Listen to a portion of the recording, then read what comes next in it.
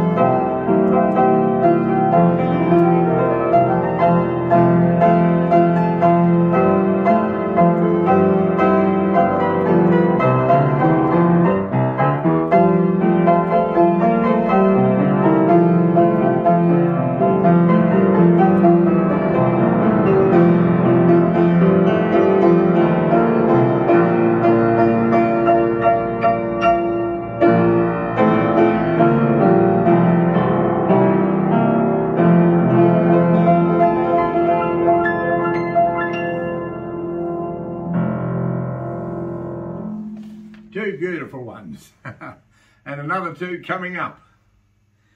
Uh, the third one is, Oh, I love to read of Jesus and his love, how he left his Father's mansion far above, how he came on earth to live, how he came his life to give.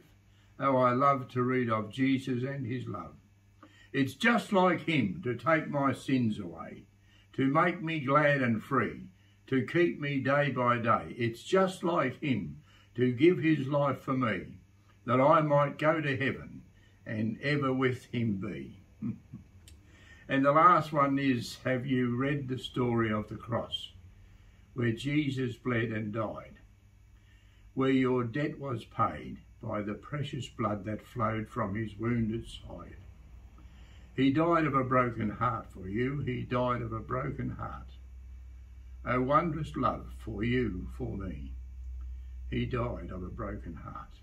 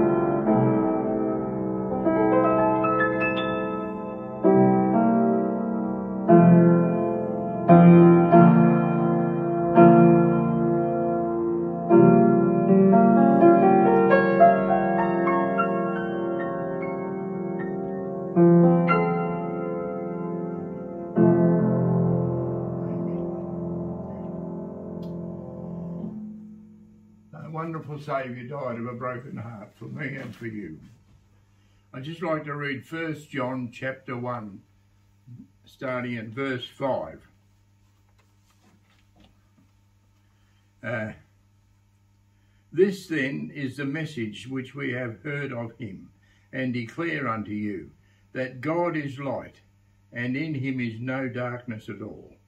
If we say that we have fellowship with him and walk in darkness, we lie and do not the truth. But if we walk in the light, as he is in the light, we have fellowship one with another, and the blood of Jesus Christ, his Son, cleanseth us from all sin. Uh-huh. So take that beautiful gem out of the Bible away with you. And may God bless you all richly. And I'll see you next week. Goodbye.